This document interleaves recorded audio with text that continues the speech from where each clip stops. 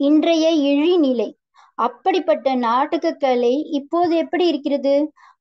ரொம்ப ஜனங்களை இழுக்கிற சக்தி மாஸ் மீடியாவாக இருக்கிற சக்தி அதற்கு இருப்பது வாஸ்தவம்தான். ஜனங்களை இழுத்து இந்திரியங்களை கிளறி அனுப்பிவிட்டால் போதுமா? அது சரியா? டிராமாவால் சினிமாவால் எத்தனையோ நல்லது செய்யலாம். செய்யலாம் என்கிறார்கள். செய்யலாம். லாம் என்பது வாஸ்தவம்தான். வாஸ்தவத்தில் என்ன நடக்கிறது என்பதுதான் கேள்வி. அணுசக்தியால் நல்லது செய்யலாம் செய்யலாம் என்று சொல்லிக்கொண்டே பாம்களை குவித்து கொண்டு போகிற மாதிரிதான் நடந்து வருகிறது. பொறுப்புணர்ந்த நாடக ஆசிரியரும் நாடகம் நடத்துகிறவரும் என்ன செய்ய வேண்டும்? ஜனங்களின் மனசை உயர்த்த பாடுபட வேண்டும்.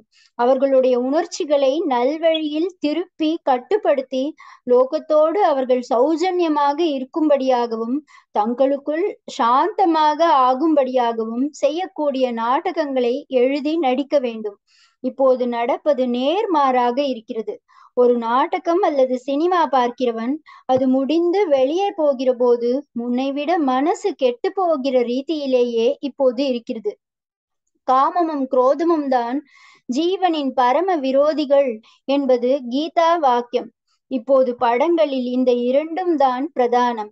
வெவ்வேறு வகுப்பு ஜனங்களை வெவ்வேறு கட்சிக்காரர்களை பரஸ்பரம் சண்டைக்கு தூண்டி விடுகிற நாடகங்களும் சினிமாக்களும் ஜாஸ்தி ஆகிவிட்டதாக சொல்கிறார்கள். விரசத்துக்கோ எல்லையே இல்லாமல் போய்விட்டதாக தெரிகிறது. நாடக கலை ஆயிரம் கால பயிர் என்பது வாஸ்தவம்தான். நானே இத்தனை நேரம் அதை ஸ்லாகித்துத்தான் பேசினேன். ஆனால் முன்னெல்லாம் அதற்கு வரம்புகள் இருந்தன. அந்த வரம்புகள் போன பின் அந்த கலையே வீணாகிவிட்டது. இன்னின்ன காட்சிகளைத்தான் மேடையில் காட்டலாம் என்ற விதிகள் முன்பு இருந்தன. சிலவிதமான சம்பவங்களை மற்ற பாத்திரங்கள் பேசுகிற மாதிரி கொண்டு போய் விடுவார்கள். ஸ்தூலமாக கண்முன் காட்டி மனசை விகாரப்படுத்த மாட்டார்கள். நாடகம் நடிப்பதற்கென்றே பரத புத்திரர்கள் என்று தனியாக ஒரு ஜாதியார் இருந்தார்கள். மற்றவர்கள் அதில் நுழைய விட மாட்டார்கள். யார் வேண்டுமானாலும் சினிமாவில் சேரலாம். அப்பாவை விட்டுவிட்டு பிள்ளை ஓடி போய் சினிமாவில் பிழைத்து கொள்ளலாம். ஸ்திரீகள் வீட்டை விட்டு ஓடி போய் ஸ்டார் ஆகிவிடலாம். என்பதற்கெல்லாம் அப்போது இடமே இல்லை. இது எல்லாவற்றையும் விட அந்த காலத்தில் எத்தனையோ கௌரவமான வரம்புகளுக்கு உட்பட்டே ஸ்திரீ புருஷர்கள் நடித்த போதிலும் கூட வாஸ்தவத்தில் புருஷன் பெண்டாட்டியாக இருப்பவர்கள்தான் நாடகத்திலும் தம்பதிகளாக வருவார்கள். நடி சூத்திரதார ட்ரெடிஷன் என்று இதை சொல்வார்கள். இப்போது இந்த நல்ல ஒழுக்க விதிகள் எல்லாம் போய்விட்டன. ரொம்ப குழந்தைகள் திருட்டு புரட்டில் விழுவதற்கு சினிமா காட்சிகள் தான் காரணம் என்கிறார்கள்.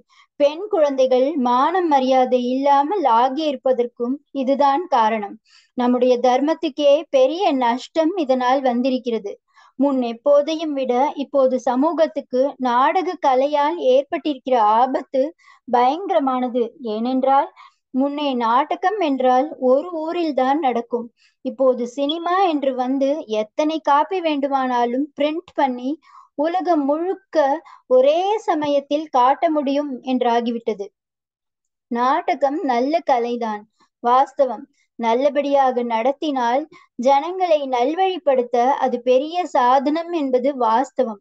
ஆனால் நடைமுறையை பார்க்கிற போது எனக்கு சினிமா டிராமா அடியோடு வேண்டாம் என்றுதான் தோன்றுகிறது. டாக்குமெண்ட்ரி கல்வி படங்கள் விஷுவல் எஜுகேஷன் என்று காட்டுகிறார்களே அதோடு போதும் என்றுதான் தோன்றுகிறது. சயின்ஸ்களுக்கு மட்டும் சினிமா போதும். சமூக சீர்திருத்தம் சமய வளர்ச்சி இதற்கெல்லாம் சினிமா வேண்டாம். அவை மற்ற வழியில் நடக்கிறபடி நடக்கட்டும் நடக்காவிட்டால் போகட்டும் என்றுதான் சொல்ல தோன்றுகிறது. என்னை எல்லோரும் ஸ்தோத்திரம் செய்யலாம். அதற்காக நானும் எல்லோருக்கும் நல்லவனாக பேர் எடுக்க வேண்டும் என்று என் மனசுக்கு தப்பு என்று தோன்றுவதை சொல்லாமல் இருந்தால் அதைவிட பெரிய தப்பு இல்லை. சினிமாக்காரர்களை ஒரு நல்ல கட்டுப்பாட்டுக்கு கொண்டு வருவதற்கு இப்போதுள்ள சட்டம் போதவில்லை என்றால் சினிமாவே வேண்டாம் என்பதுதான் என் அபிப்பிராயம். புராண படம் எடுத்தாலே சுவாமிகள் ரொம்ப ஆசிர்வாதம் பண்ணிவிடுவார் என்று சில பேர் நினைக்கலாம். ஆனால் சமூக படம் கூட வேண்டியதில்லை என்று நான் நினைக்கும் போது நம்முடைய ஸ்டார்கள் தெய்வங்களாக வேஷம் போட்டுக்கொள் போட்டுக்கொள்வதை ஆமோதிப்பேனா என்ற கேள்விக்கே இடமில்லை. வேதாத்தியனத்தில் இருந்து ஆரம்பித்து நம்முடைய மகத்தான சம்பிரதாயத்தை சேர்ந்த பல சம்பத்துக்கள் போய்விட்டன. இப்போது சினிமா டிராமா போகிற போக்கையும் சமூகத்துக்கு இதனால் ஏற்பட்டிருக்கிற உத்பாதத்தையும் பார்க்கும்போது தொன்று தொட்டு வந்த நம்முடைய நாடக கலையும் அப்படியே போகட்டும் என்றுதான் தோன்றுகிறது. ஜனங்களை ரொம்பவும் தப்பிலும் விகாரத்திலும் தூண்டி கொடுக்கும் விதத்தில் இப்போது பிரளய பிரவாகமாக வந்திருக்கிற சினிமா கூத்து இதே கதியில்தான் போகும். அதை மாற்ற முடியாது என்றால் ஒரு உத்தமமான கலையாக ஆதி காலத்திலிருந்து வந்திருக்கிற நாடக கலை போயே போய்விடட்டும் என்று தோன்றுகிறது. நான் சொல்வதற்காக எல்லாம் மாறிவிடும் என்று நினைக்கவில்லை. மாறுமோ மாறாதோ? சொல்ல வேண்டியது என் கடமை என்பதால் சொன்னேன்.